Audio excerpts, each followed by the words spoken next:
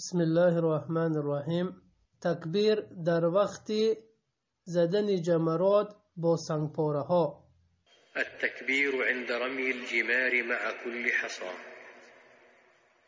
يكبر كلما رمى بحصاة عند الجمار الثلاث ثم يتقدم ويقف يدعو مستقبل القبلة رافعا يديه بعد الجمرة الأولى والثانية أما جمرة العقبة فيرميها ويكبر عند كل حصاة وينصرف ولا يقف عندها رسول الله صلى الله عليه وسلم در وقت رمی جمرات سیگانه با زدن هر سنگریزه تکبیر می گفتند.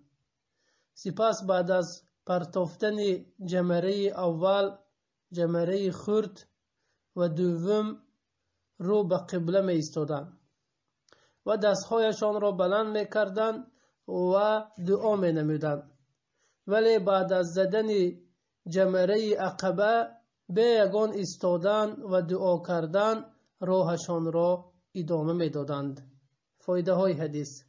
фоидаи аввал задани шайтон як ҳаракат ва ибодате аст ва ҳадаф эълои зикри аллоҳ таоло ва ниёзе ба задани шайтон бо кафаш ва чӯб ва ғайра нест.